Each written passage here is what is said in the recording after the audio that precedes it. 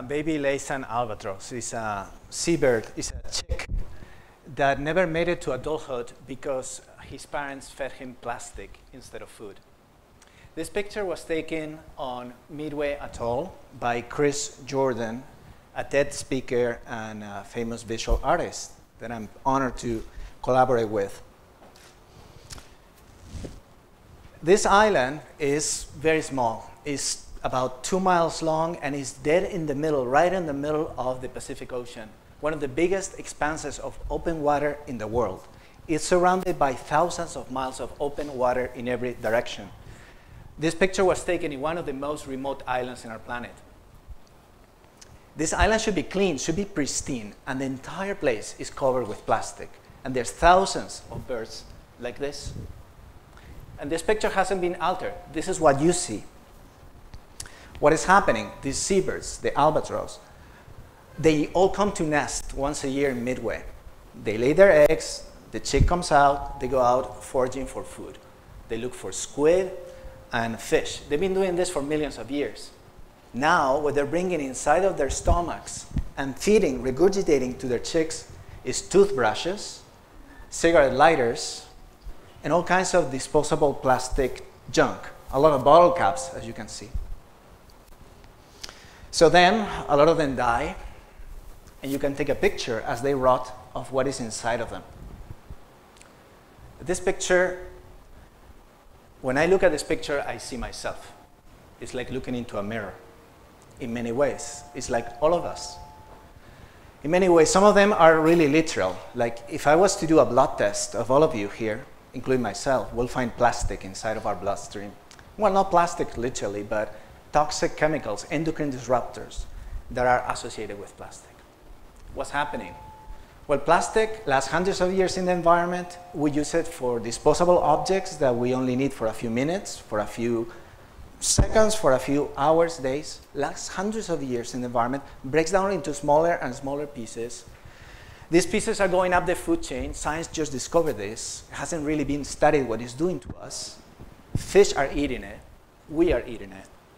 But also plastic leaches toxic chemicals or may leach toxic chemicals, certain types of plastic, into our food and drink. So that's us, all of us here.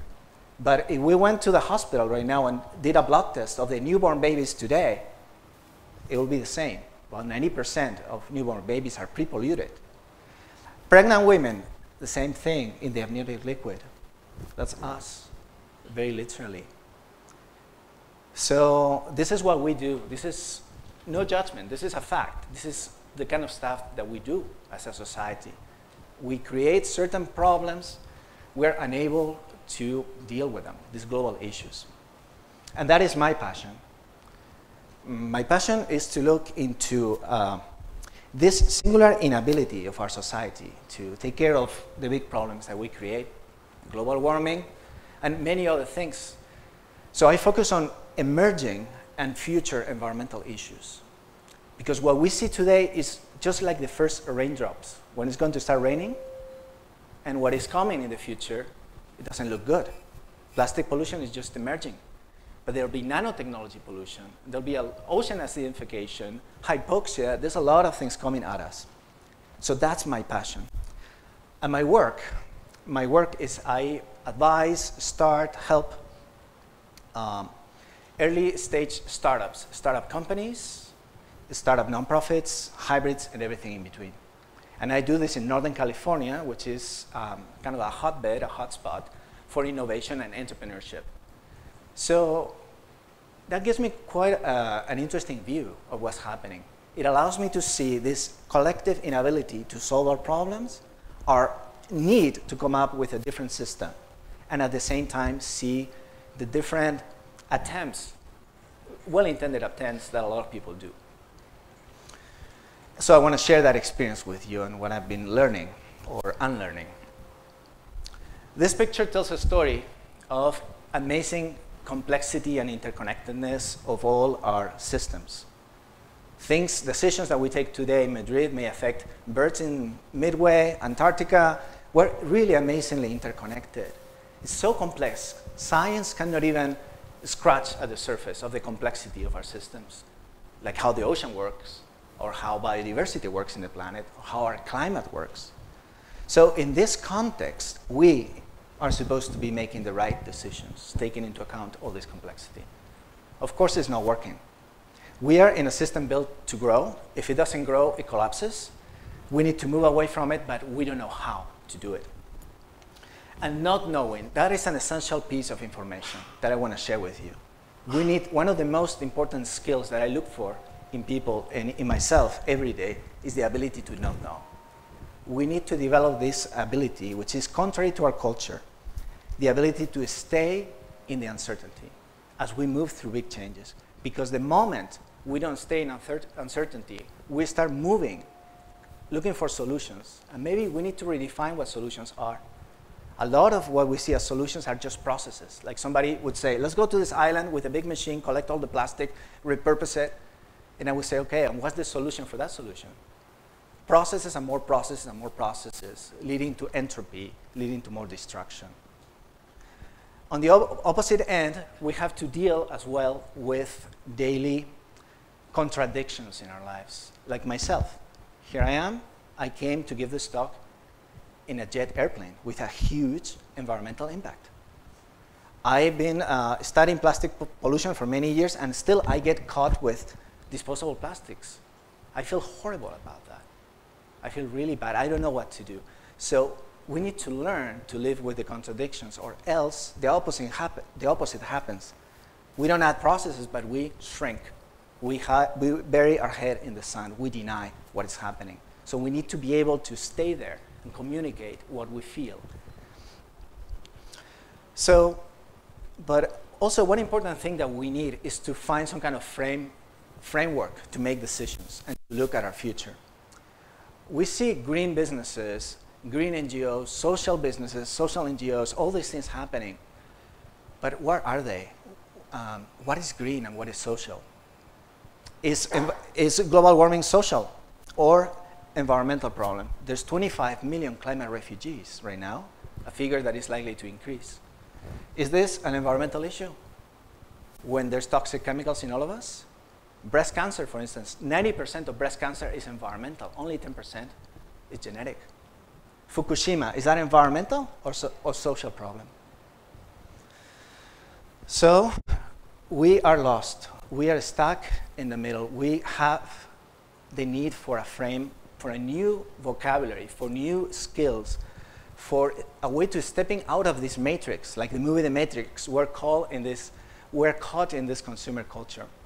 So I have a proposal from not knowing, from humility, from making the exercise of honesty and integrity of telling you that I don't know, this is my proposal. I think we need to become radical. Radical beings, radical leaders, radical entrepreneurs, radical teachers, radical parents.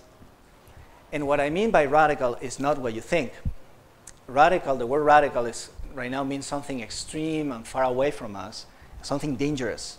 But if we look at the origin of this word, radical comes from Latin, the word radis. Radis means the root. And that's what I mean. We need to find our root, what we really want, what being human means. So radical is not the extreme, it's the center, the root. So people talk a lot about planet, people, different things that we want to take care of, but they talk as objects that are out there. Let's take care of the planet, you know? You've seen the picture of some hands holding a planet. I don't think going in that direction is going to work because these are not objects, these are relationships. This is who we are. We are interconnected.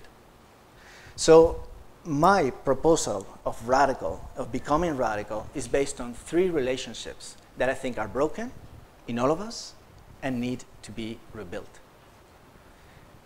The first relationship is the deep, profound relationship we have with ourselves, which has been broken with our bodies. We are embodied beings with our consciousness. Science cannot explain what it is, but we all have a consciousness. And that relationship gets broken since we're little childs by consumer culture, by society, by advertising. You're not good enough, you're ugly, you're incompetent, etc., etc. We get educated out of creativity, as we were seeing in the video earlier. So that's the first relationship that is broken, and we need to heal. That's the first piece of our root. The second piece of our root is the deep, profound, intricate relationships that we have with others, with other people around us, people in our family, people in our community, in our neighborhood, in the whole world. And this relationship too gets broken by consumer culture. In order to turn humans, human beings, into consumers and producers, you need to break them. You need to tell them that the others are means to attain their goals. You need to tell them that the others are people they should look as competitors or um, to keep up with. Oh, the, new the neighbor has a new car, I should get a better car, etc. Another relationship that is broken, and maybe if we heal it, could, we could connect to a root. And then there's the third relationship. That's the relationship with the whole web of life. It's not the earth that we're going to hold, it's the web of life that we are a part of. We are linked to every single being in the planet. So, my proposal is if we really connect and heal with these three elements of our root, I'm just wondering what kind of speech will come out of our mouths, which kind of vocabulary, which kind of leadership, which kind of organizations, nonprofit or for profit or whatever it is, what kind of financial systems or economies. That is what I've been using as my lens to look at this complexity and this emergence of experiments that we're seeing lately. Again, we have to go to not knowing. It takes a lot of integrity, a lot of courage to say, I don't know, and stay there. So that we don't get wrapped up in the process. We need as well to be able to deal with our contradictions and the suffering that is coming at us. Looking ourselves in a mirror is not beautiful when you look at the effects that nobody intended. And throughout this process, we should find a lens. And my invitation to all of you is to really connect with who we are before we were transformed into consumers and producers. And maybe this, give us, this would give us an opportunity to step into the future, honoring, honoring what it is to be a human being, honoring, uh, honoring our ancestors, and honoring the generations that are to come. So that's my invitation to join me in this dialogue. I've been talking and writing about this for, for a while, and it's just an experiment that I suspect holds a clue of taking us out of Midway. This picture was taken, I was talking of the island of Midway. I think that's a metaphor of where we are. Our society has evolved to a certain point. We know now that we're reaching a limit of growth. We need a new system, but we don't know where to find it or where to go. We're stuck midway. And we need a, a frame reference, like radical, radical beings to guide us into what to do, because otherwise we may be doing just like the albatross, picking up from the water things that look great, that look beautiful, shiny, with bright colors. We put them inside of us, we feed them to the chicks, but maybe they don't pack a lot of value. So that's my, my, my invitation to all of you. Get radical. Thank you very much.